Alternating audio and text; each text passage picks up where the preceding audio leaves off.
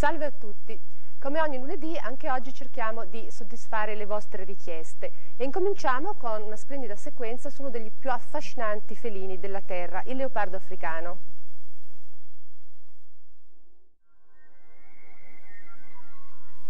Beh, stupefacente davvero la forza di questo leopardo.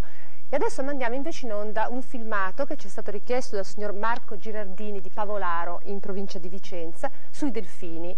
Un filmato che interesserà non soltanto lui, ma di tanti fans di delfini, forse una delle specie sulla faccia della Terra che più attira gli esseri umani. Al punto che, dicono gli scienziati, forse tra mh, qualche decennio riusciremo addirittura a parlarci, a instaurare un dialogo con questa specie marina. Secondo un cetologo americano che si chiama John Lilly, che forse è l'autorità più indiscussa in questo campo, è sicuro non soltanto che nel giro di due decenni ci parleremo, ma che apprenderemo molto, impareremo molto dai delfini. Lui dice che non sono soltanto una specie intelligente, ma intellettuale e che questo incontro tra l'uomo e il delfino rivelerà idee, filosofie, modi e mezzi finora mai concepiti da mente umana.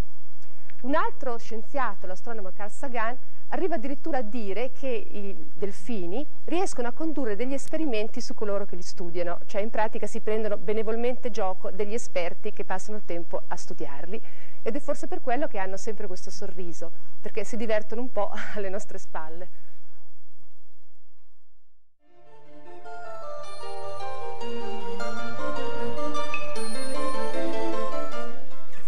Buonasera. Come al solito, come ormai è nostra abitudine ogni lunedì, pensiamo a soddisfare le vostre richieste e andiamo in India, una civiltà a parte da cui ci giungono messaggi di spiritualità, di eh, religiosità a cui forse non siamo più abituati. Lungo il fiume Gange, il fiume sacro per eccellenza che stiamo per vedere nelle prossime sequenze, questa spiritualità raggiunge il suo vertice.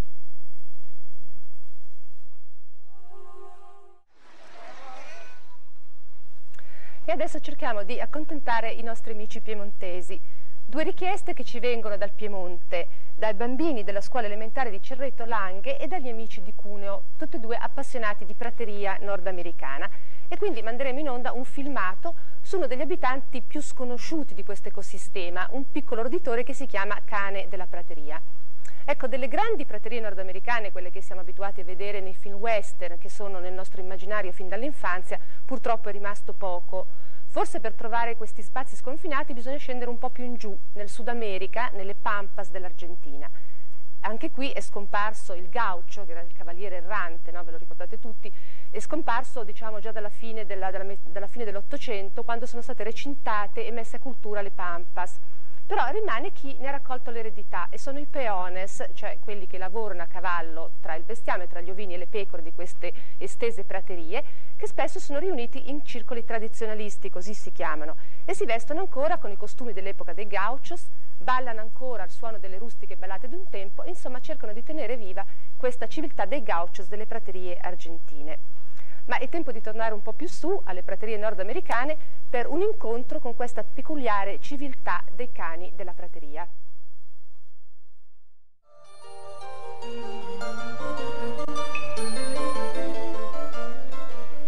Buonasera a tutti. Sono madri un po' stravaganti, queste vedove della savana che stiamo per vedere oggi, martedì, la giornata che Geo dedica agli animali. Sono stravaganti perché sono uccelli parassiti, cioè mettono le loro uova nel nido di un altro uccello, costringendolo in pratica a fare da genitore adottivo alla loro prole. Comportamenti simili, in generale, hanno una spiegazione, e cioè danno dei vantaggi sia alla specie che li pratica, cioè i genitori che rifilano agli altri la cura dei loro piccoli, sia alla specie che ospita questi piccoli, insomma è un po' uno scambio di favori. Ma ci sono anche casi in cui questo scambio di favori non si verifica, casi in cui gli etologi, cioè i studiosi dei comportamenti degli animali, non sanno veramente dare una spiegazione. Prendiamo il cuculo, il famosissimo cucù, che è quello che ogni primavera ci dà l'annuncio dell'estate. Bene, questo uccellino celebrato in poesie e in canzoni ha un inizio di vita tutt'altro che idilliaco, anzi proprio sinistro. Infatti la mamma cuculo mette l'uovo nel nido di un altro uccello, questo uovo ci mette nove giorni ad aprirsi, ne esce il piccolo che attende al varco l'arrivo degli altri fratellastri che ci mettono qualche giorno in più. Quindi lui, ancora in plume ma già bello in forza, appena gli altri sbucano dall'uovo li prende e li butta giù dal nido. un comportamento veramente feroce, tra virgolette. Ecco, e sembra anche che sia un comportamento che non dà nessun vantaggio alle specie che ospita. In altre parole, questi hanno solo gli svantaggi. Come mai allora si chiedono gli etologi accettano il piccolo ospite? Come mai non si ribellano? Questa è una delle tante domande a cui gli etologi non sanno ancora rispondere, non hanno ancora una spiegazione perché i meccanismi del parassitismo sono estremamente complessi. Ecco, un po' eh, più eh, umani, tra virgolette, sono invece i comportamenti della nostra vedova che pratica sì il parassitismo ma con un po' più di fair play rispetto al cuculo.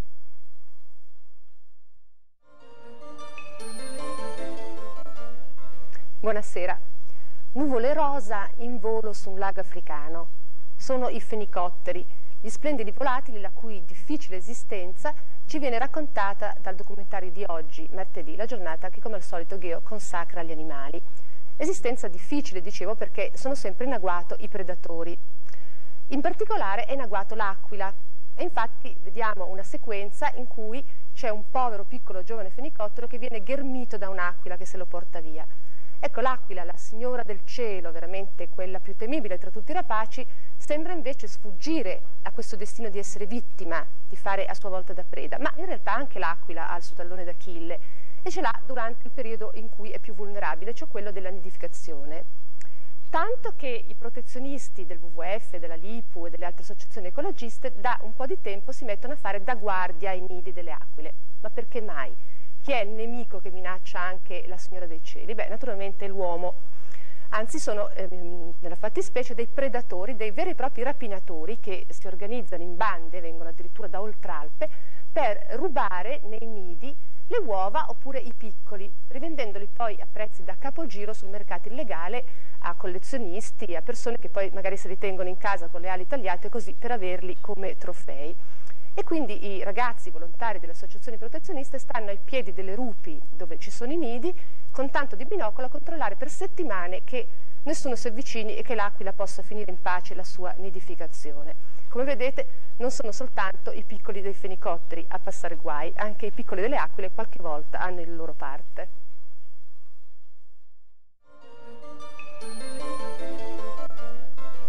Buonasera a tutti. Sui monti azzurri dell'India meridionale ci attende oggi Wanderu, questo è il nome in lingua locale, di una scimmia impropriamente detta coda di leone o anche leone, una specie rarissima in via d'estinzione. Ecco, questo è un ritornello un po' penoso, si dice sempre che sono tante le specie in via d'estinzione ed è vero. Però qualche volta, qualche rara volta, ci sono anche le specie in via di apparizione. È il caso della scimmia leonina, che non ha niente a che vedere con la scimmia leone, sono dei nomi che si somigliano. Questa scimmia leonina vive nelle foreste dell'America del Sud, e ce ne sono tre specie conosciute, finora tre specie conosciute. Però qualche tempo fa due biologhe eh, brasiliane, mentre si aggiravano in un angolo di foresta vergine ancora sconosciuto, hanno trovato con loro grande sorpresa una quarta specie, che hanno subito battezzato e così riconosciuto come specie a parte. Bene, la cosa singolare che ha strabiliato non solo le due scienziate, ma anche tutti i loro colleghi a livello internazionale, è che questa nuova arrivata ha il corpo dorato, la testa, le zampe e la coda nere ed è praticamente il contrario di un'altra specie, una di quelle tre già conosciute, che ha invece il corpo nero e la testa, le zampe e la coda dorata. Insomma, è come se fosse, sapete nelle fotografie quando c'è il negativo, cioè l'una è il contrario dell'altra. E quindi questo aggiunge ancora più così, interesse all'enigma di queste specie che improvvisamente così compaiono, sono appunto in via di apparizione. Ma torniamo adesso alla nostra cosiddetta scimmia leone con una piccola buona notizia. Vi avevo detto che è in via d'estinzione ed è vero, però il progetto di conservazione che ha varato WWF sta dando qualche frutto e le ultime notizie ci dicono che è passata da 800 esemplari a 3000, quindi qualche speranza c'è. Buonasera a tutti. Stiamo per avventurarci nel grande deserto del Teneré in Africa due sole oasi, un solo albero, poveretto travolto da un camion durante la corsa Parigi-Dakar, finito in un museo, e soprattutto una siccità terribile che perseguita gli ultimi Tuareg, le ultime carovane, gli ultimi nomadi del deserto. Ecco, gli uomini a poco a poco se ne vanno, abbandonano e quelli che restano, gli animali, come fanno gli animali ad affrontare la grande sete? Quali espedienti escogitano per trovare acqua da bere in queste eh, così, lande veramente desolate. Se l'è chiesto un fotografo francese, Alain Draguescot, che ha fatto numerose spedizioni nel Sahara per rispondere proprio a questa domanda e ha trovato tutta una serie di stratagemmi. Per esempio c'è un uccello, la grandula del Senegal, che eh, vola, il maschio vola verso una pozza d'acqua distante anche una ventina di chilometri, imbeve le piume e quando torna al nido fa bere gli uccellini direttamente dalle sue piume. Un po' più brutale, certo meno idilliaco, è il metodo del eh, ghepardo che invece si disseta direttamente al sangue delle gazzelle che azzanna. Ecco, ogni animale naturalmente ha i suoi metodi, però i Tuareg hanno delle spiegazioni un po' più poetiche, più belle. Loro pensano che gli animali abbiano fatto un patto col diavolo o che forse Allah invia una notte alla settimana un angelo dal cielo a dissetare una per una le creature del deserto. I Tuareg però, lo vedremo, non hanno né angeli né demoni al loro fianco e hanno proprio difficoltà a cavarsela da soli. Un nostalgico addio agli ultimi Tuareg del deserto e passiamo a domani, giornata che Geo dedica all'ambiente. Ci trasferiremo ai bordi dei vulcani, anzi potremmo veramente dire dentro ai vulcani.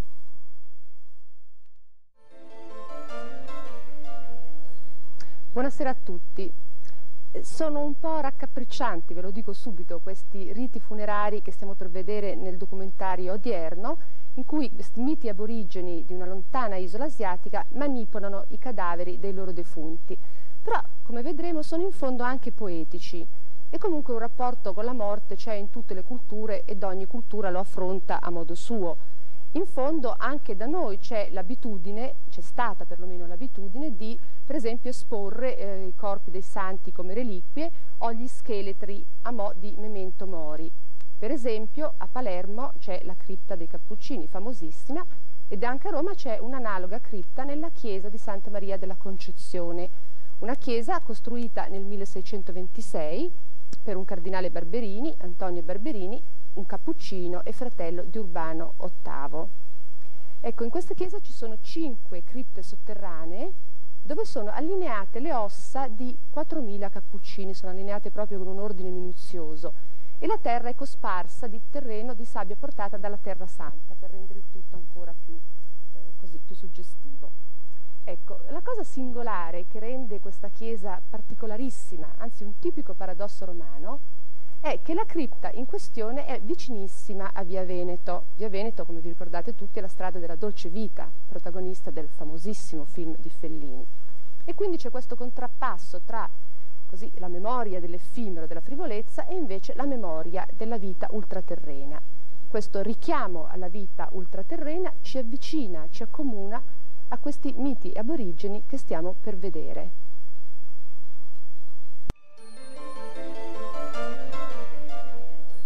Buonasera a tutti. Sono, sono, un po' raccapriccianti, ve lo devo dire subito, questi riti funerari che vedremo oggi, praticati dagli ultimi Anunu, questi aborigeni di una remota isola asiatica, che sono abituati a manipolare i loro cadaveri. Però poi, guardandoli bene, ci si rende conto che in fondo sono anche poetici. E dopo tutto un rapporto con la morte è tipico di tutte le culture, ogni cultura lo affronta a modo suo. Però anche da noi ci sono dei riti, per esempio delle abitudini, quali quelli di esporre i corpi dei santi come reliquie o quelli di eh, esporre le ossa e gli scheletri come memento mori e ricordarci appunto che dobbiamo morire. Per esempio nella famosa cripta dei Cappuccini a Palermo c'è questo ossario e c'è anche in una chiesa, Santa Maria della Concezione, a pochi passi dal centro di Roma, che è un'altra chiesa appunto dei Cappuccini, costruita nel 1626 per un eh, cardinale che era appunto un cappuccino, fratello di Urbano VIII. Ecco qui in cinque cave sotterranee troviamo le ossa di ben 4.000 cappuccini che si sono succeduti generazione dopo generazione in quest'ordine religioso, ossa disposte con una minuzia un po' macabra però estremamente suggestiva. Il pavimento è cosparso di terra portata dai luoghi santi proprio per rendere ancora più evocativo questo ambiente. Ecco, quindi la cosa paradossale è che questa chiesa si trova a pochi passi da Via Veneto, consacrata alla memoria della dolce vita, vi ricordate il film di Fellini. Quindi c'è questo contrappasso tra la memoria dell'effimero, della frivolezza, e invece il richiamo alla vita ultraterrena. un richiamo che ci accomuna a questi miti aborigeni che stiamo per vedere in un angolo lontanissimo dell'Asia. Molto meno cupo, anzi solare e colorato, è il mondo che ci attende domani, la giornata che Geo dedica all'ambiente. Un mondo che ha i colori dell'arcobaleno.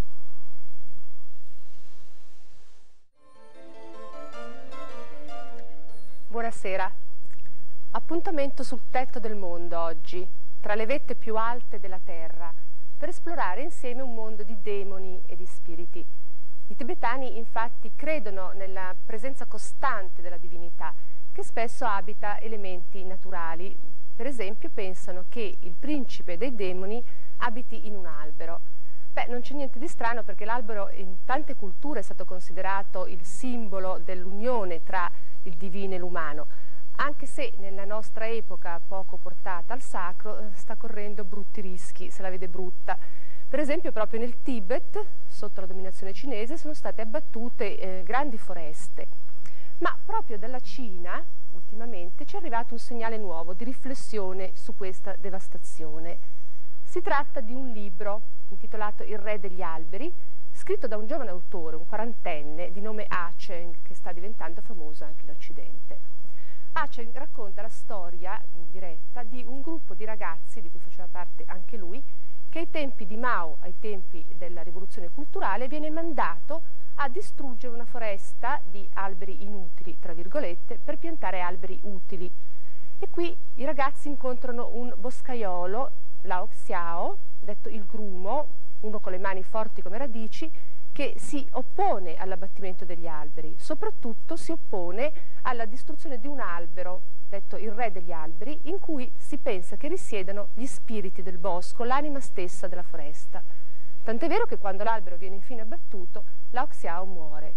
È proprio il segno di uno scontro tra due culture, scontro che sta avvenendo anche nel Tibet di oggi, da una parte la Cina contadina millenaria e dall'altra questa Cina rivoluzionaria e ideologica. È anche il segno di una rivincita dell'albero, del rapporto millenario tra uomo e natura che vince al di là di ogni fanatismo ideologico.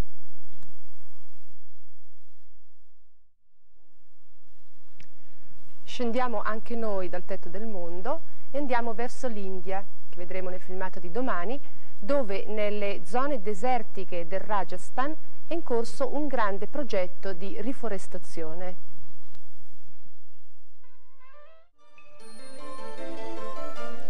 Buonasera. Tutti ricordiamo l'ammutinamento del Bounty, in particolare il film con un fascinosissimo Marlon Brando giovane. Ma la storia che raccontiamo oggi, una delle grandi storie di Geo, non riguarda direttamente il Bounty, bensì Pandora, una delle navi che la marina inglese inviò sulle tracce dei ribelli per eh, riportarli in patria e per punirli. L'anno scorso c'è stato il bicentenario del più famoso ammutinamento della storia, c'è stata una mostra rievocativa a Londra e qualcuno si è chiesto, ma che fine hanno fatto i discendenti degli ammutinati del Bounty, dei più famosi ammutinati del mondo? E sono andati a Pitcairn, una piccola isola nel Pacifico, sperduta nel Pacifico, dove vivono ancora 47 discendenti del, degli ammutinati del Bounty in una condizione di totale isolamento, quasi come ai tempi del Bounty. Pensate che ci arrivano solo quattro navi l'anno, non c'è la televisione e quindi le condizioni di vita non sono poi molto dissimili da quelle che vissero Fletcher Christian e i suoi eh, così, colleghi.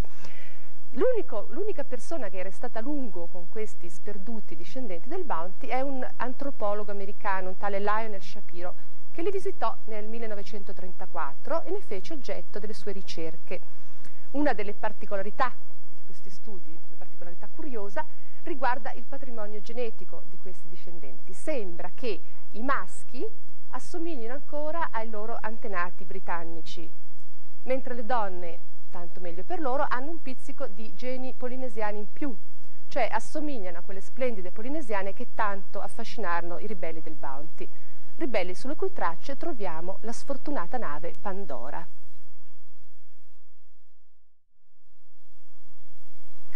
Diciamo addio alla sventurata Pandora per trasferirci domani in un paradiso esotico di, di mari scintillanti e di dolci musiche.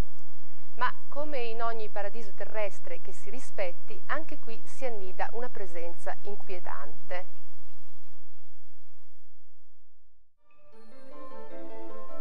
Buonasera a tutti.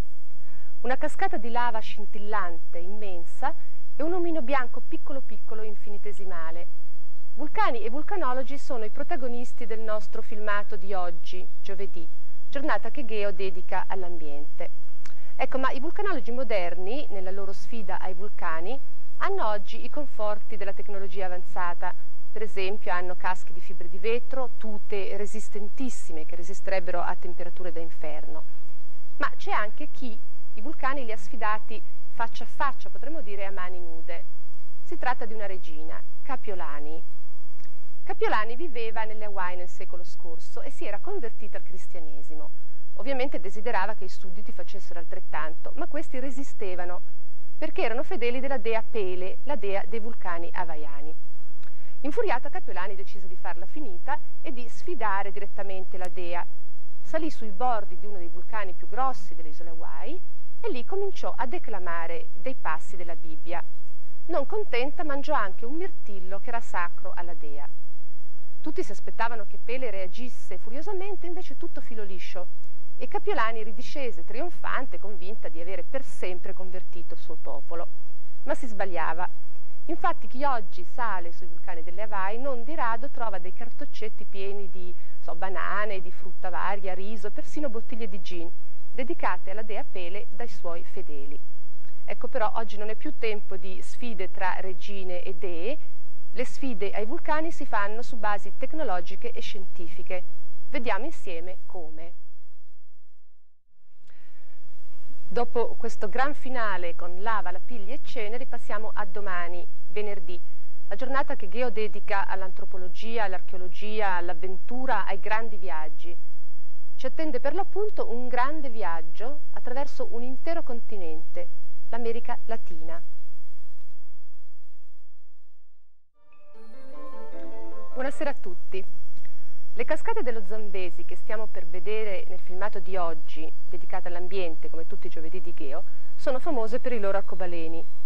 Ma non sono soltanto i colori dell'iride a illuminare lo scenario, ci sono anche i colori sfarzosi delle piume degli uccelli, come vedremo, e in particolare il pigliamosche del paradiso, che sono uccelletti piccoli, piccoli come passerotti, ma però con degli strascichi veramente lussuosi, lunghi un metro.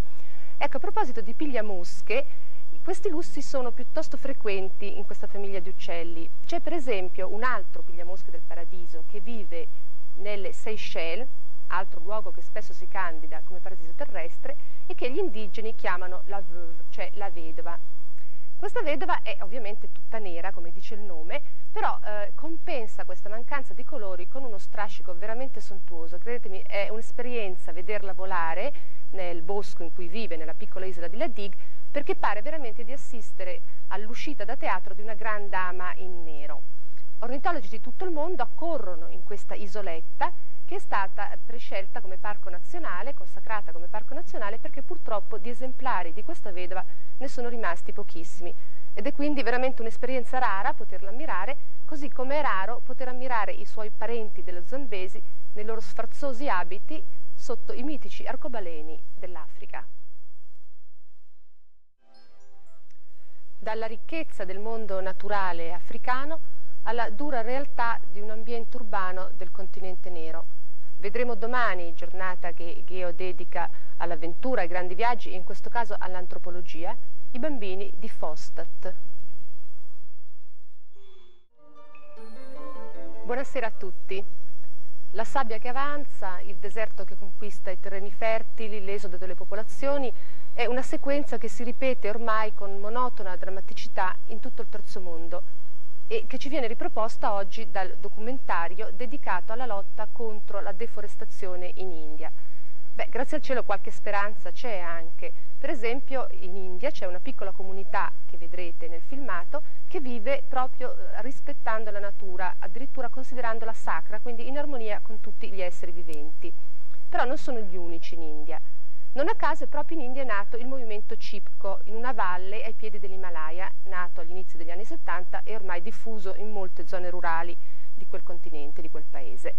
questo movimento nasce dalla parola cipco che significa abbraccio nella lingua locale ed è proprio abbracciando gli alberi che gli indigeni, in particolare le donne, sono riusciti a salvare le foreste dalle motoseghe e dai bulldozer delle compagnie dei commercianti di legname, salvando poi anche il loro territorio dalla desertificazione e dalle alluvioni, perché sapete che alluvioni e desertificazione sono veramente i due poli del pendolo che in genere fanno seguito all'abbattimento delle foreste. Ecco, questo movimento cicco, dicevo, si differenzia dagli altri movimenti protezionisti, per esempio quello occidentale, proprio per la sacralità della natura. Come spiega la studiosa indiana Vandana Shiva in un suo recentissimo libro Sopravvivere allo sviluppo, nessuna lotta per la difesa della natura potrà avere successo in India come altrove se non si recupera il senso del sacro, se non si riesce a pensare alla natura non come a materia prima da sfruttare, ma come a una madre che dà sostentamento e vita e quindi deve essere considerata sacra. Passiamo a domani, giornata che Geo consacra all'avventura. Isabelle, la protagonista, la ragazza francese che vedremo insieme, è una che di avventure se ne intende. Ecco un piccolo saggio delle sue multiformi imprese. Buonasera. Come tutti i lunedì, anche oggi cerchiamo di soddisfare le vostre richieste. E ci attende un lungo viaggio in Africa, che ci avete chiesto voi, lungo il fiume Niger, tra le maschere del popolo Togon. Prima però tre minuti a tutta velocità. Avanti tutta.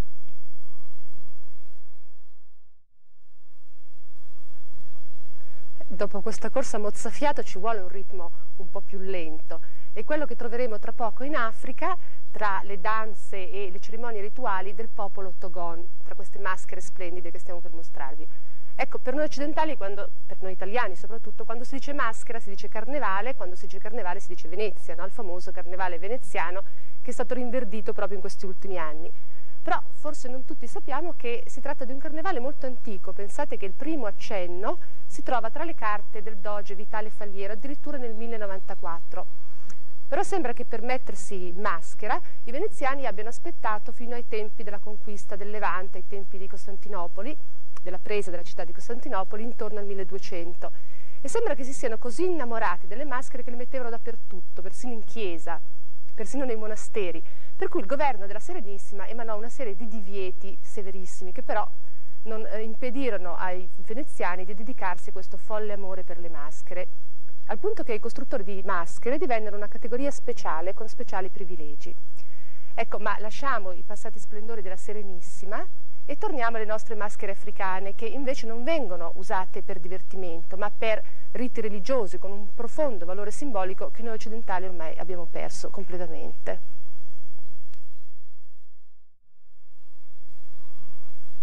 Dopo questa corsa mozzafiato ci vuole un ritmo un po' più lento e quello che troveremo in Africa, lungo il fiume Niger, tra queste maschere splendide che stiamo per mostrarvi. Ecco, quando noi diciamo maschere, noi italiani ci viene subito in mente il carnevale, il carnevale ci fa venire in mente Venezia, perché il carnevale veneziano rinverdito da qualche anno è il più famoso in Italia. Però forse non tutti ci ricordiamo che questo carnevale viene da lontano, è antichissimo.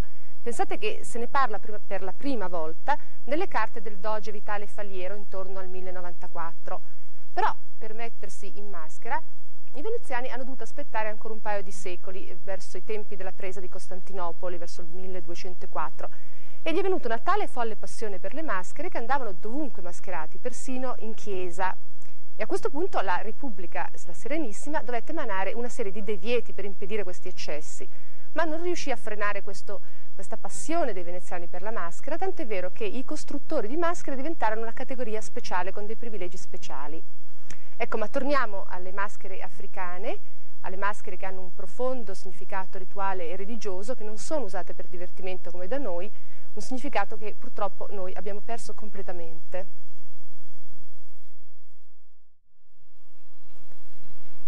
Domani voleremo in Antartide e tra i ghiacci di quel remoto continente assisteremo a un incontro un po' inconsueto tra un gruppo di pinguini e un gruppo di ricercatori.